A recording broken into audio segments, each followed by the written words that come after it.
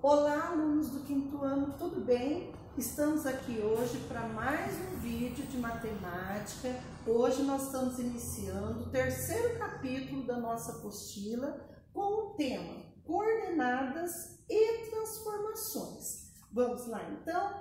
Você já viu algum jogo ou você já jogou algum jogo que tinha uma malha quadriculada ou identificado com colunas e linhas, eu acho que você já teve algum jogo desse jeito aí, não foi? Pois é, quando você joga um jogo assim, nós dizemos que você está jogando um jogo de coordenadas. Vamos lá agora conhecer esse jogo? Então vamos lá.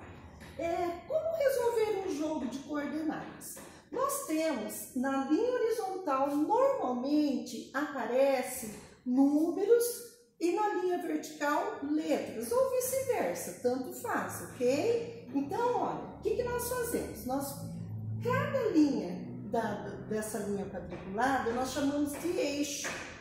A união do eixo horizontal com a vertical, nós dizemos que o encontro é uma coordenada, certo? Então, para identificar o ponto que nós queremos nesse jogo, nós fazemos a união da coordenada é, horizontal com a vertical, número com letra. Às vezes tem é, quadriculado, jogos quadriculados, que aparece ou só número na horizontal, número também na vertical, mas nós temos que fazer a união desses eixos, ok? Então, sempre que nós queremos achar um ponto, nós fazemos a união da horizontal com a vertical. Vamos lá então?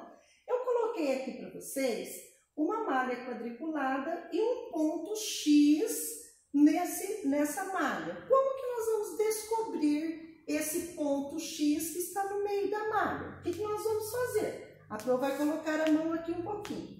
Nós vamos unir a horizontal, aqui a, a horizontal que está no 4, certo?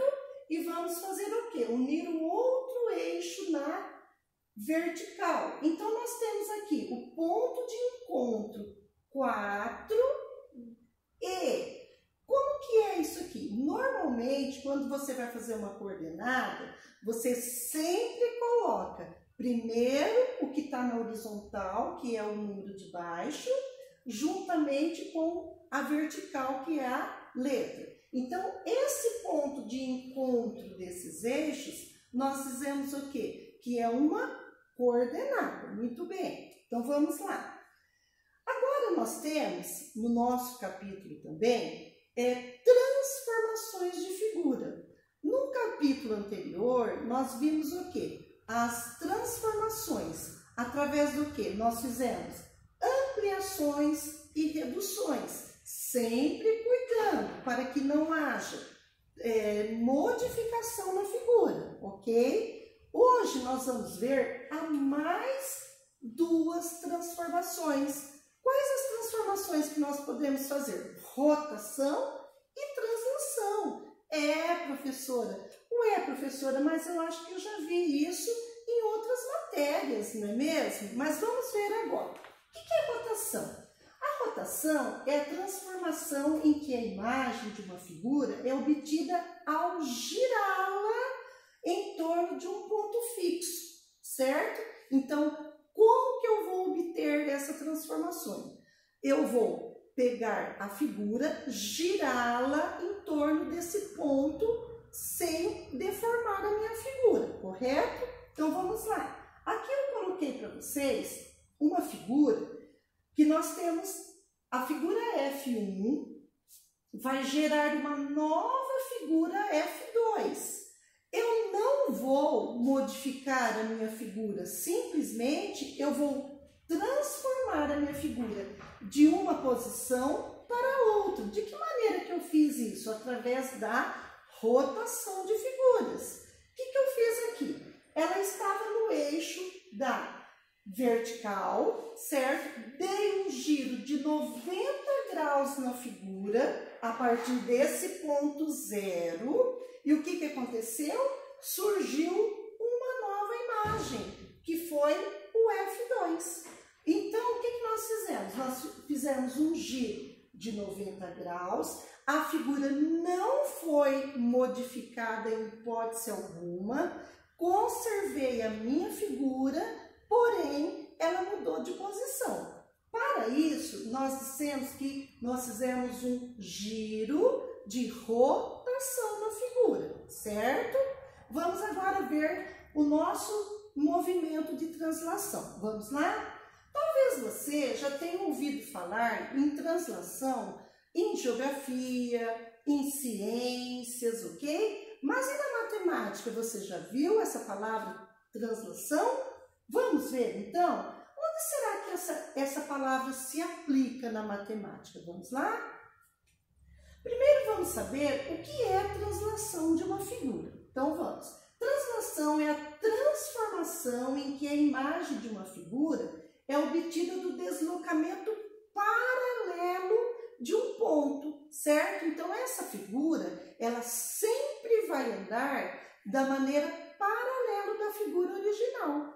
Tanto pode ser na vertical, na horizontal, na, na, na diagonal, certo? Mas ela sempre vai se movimentar, a lá, ó, de todos os seus pontos, uma mesma distância, direção e sentido. Nesse movimento são mantidos o quê? O tamanho da figura, a orientação, a forma da, é, original da figura. Nós não vamos deformar a nossa figura, ok?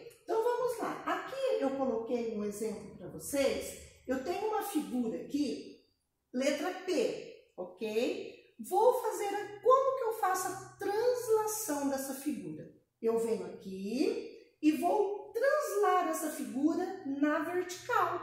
Mas como que ela fez? Ela andou do ponto original aonde eu quis trazê-la, certo? Na vertical. Aqui eu estou trazendo ela paralelamente com o meu ponto principal, né, original, na diagonal. E notem que a minha figura não transformou de forma nenhuma. Simplesmente ela foi mudada de lugar através do que? Da translação. E aqui nós mudamos a figura na forma horizontal. Notem que de todos os pontos que ela andou, ela sempre andou paralela com a figura original, correto? Então, olha, olha lá, translação acontece quando uma figura é deslocada uma determinada distância numa determinada direção e sentido. Este movimento assemelha-se ao deslizar. É como se eu estivesse deslizando a minha figura, certo? Então, olha, translação e rotação. Vamos ver a diferença delas, ok?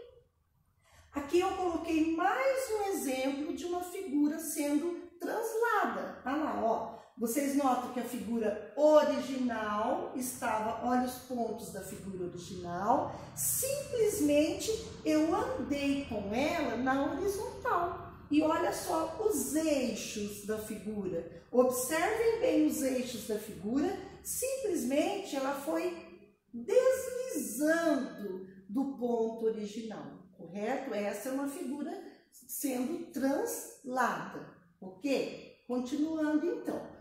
Bom, gente, o que, que eu coloquei aqui? Nesta aula, nós vimos que é possível analisar como as transformações modificam as figuras para podermos comparar ou elaborar conjuntos de instruções que têm o mesmo resultado. Então, o que, que nós temos que observar? Vimos também que é muito importante conhecer as características de cada transformação.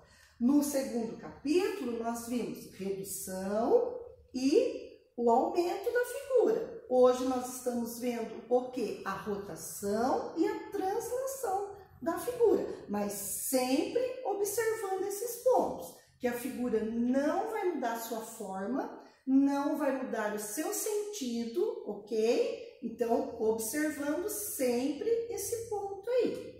Continuando. Para finalizar, você aprendeu a transformar figuras, movimentos como os de translação que talvez você tenha ouvido falar em outras aulas e que foram incorporadas aulas de matemática. Muito interessante, porque olha, rotação e translação, vocês estavam acostumados a ver onde? Em geografia ou ciências, ok? Assim você teve a oportunidade de ver que a matemática pode ser estudada a partir de diferentes o que? Atividades. E para finalizar, espero que você tenha aprendido a ver a matemática de um modo diferente. Até próximo, mas lembre-se, onde há estudo, há sabedoria. Ok, pessoal? Um beijo para vocês. Espero ter ajudado nos estudos de vocês. Beijo da professora Marta.